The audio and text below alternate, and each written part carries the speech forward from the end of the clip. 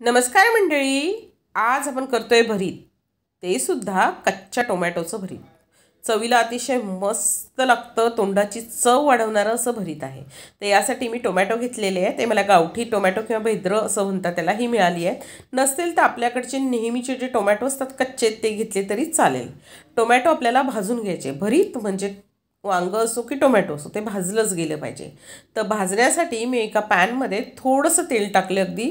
पाव चमचा आणि त्याच्यावर असे अगदी गॅसची पॉवर बारीक करायची आणि टोमॅटो या तऱ्हेने भाजून घ्यायचे. एका बाजूने छान भाजले गेले की दुसऱ्या बाजूने घे भाजायचे व्यवस्थित. अगदी मस्त मऊ झाले पाहिजे.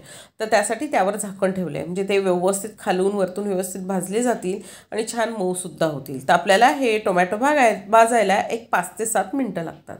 तर बघा आता याच्यामध्ये मी मस्त टोमॅटो भाजते. एका बाजूने भाजून झाले की आपण दुसऱ्या बाजूनेसुद्धा व्यवस्थित भाजून घ्यायचे आहे. मैत्रिणींनो तुम्हाला माझा चॅनल आवडत असेल तर नक्की सबस्क्राईब करा लाईकचं बटनसुद्धा दाबा आणि शेअर तर नक्की करा. आता टोमॅटो बघा माझे किती व्यवस्थित मस्त भाजले गेले तर मी काय केलं त्यामध्येच आपण टाकले आहे पाच सहा हिरव्या मिरच्या पाच सहा लसणीच्या पाकळ्या हे पण यामध्येच भाजून घेऊया. बघा आता हे छान भाजलं गेलं की गॅसची पॉवर करायची बंद. तर मिरच्या छान भाजल्या गेल्या की त्या बाधत नाही. तर आता गॅसची पॉवर बंद करायची आणि त्यावर झाकण ठेवायचं. म्हणजे टोमॅटो छान मुरले जातील आणि छान मऊ पण होतील. अगदी दोन तीन मिनटं ठेवायचं आहे. इथे पूर्ण गार होऊ द्यायची गरज नाही. त्यानंतर टोमॅटो काढायचे लसूण मिरची यामध्येच आपण घालूया थोडंसं जिरं आणि हे भाजलेले टोमॅटो. हे आपण छानपैकी बारीक करून घ्यायचे आता यासाठी आपण काय करायचं आहे?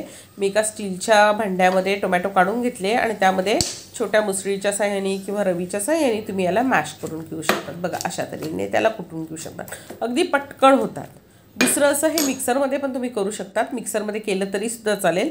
पण एक लक्षात ठेवायचं त्याची बारीक पेस्ट करायची नाही आहे थोडंसं ओबडधोबड म्हणजे असं जाडसरच क्रश ठेवायचं आहे.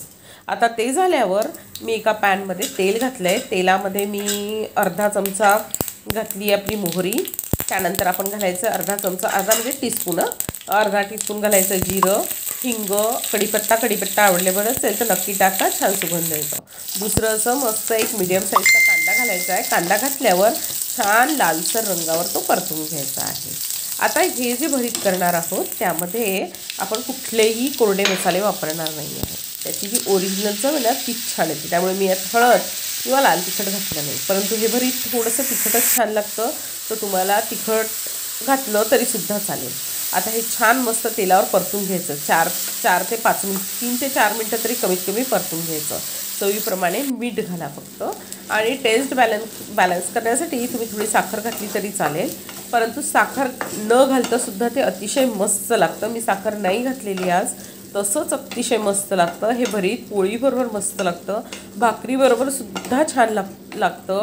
तोंडाची चव वाढवणारं आहे. असं हे भरीत करण्यासाठी अतिशय कमी साहित्य लागतं. कमी वेळ लागतो. तसं हे भरीत तुम्ही नक्की नक्की करून बघा. माझं चॅनलही सबस्क्राईब करा. लाईकचं बटनही दाबा. तुमच्या मित्रमैत्रिणींबरोबर शेअरसुद्धा करा. आता बघा मस्त भरीत आपलं छान शिजून आलेलं आहे. मस्त अगदी दोन तीन मिनटामध्येच. त्यानंतर त्यावर मुठभर कोथिंबीर घातलेली आहे आणि भरीत आपण काढूया. बघा कसं मस्त दिसतंय. नाही यात कुठले मसाले घातले न हळद तिखट काहीही नाही तरी भरताचा रंगसुद्धा अप्रतिम आला आहे चवीलासुद्धा ते तेवढंच छान झालेलं आहे. तर असं हे घरी भरीत नक्की करून बघा. एक वेगळी भाजी आणि सोपी भाजी. थँक्यू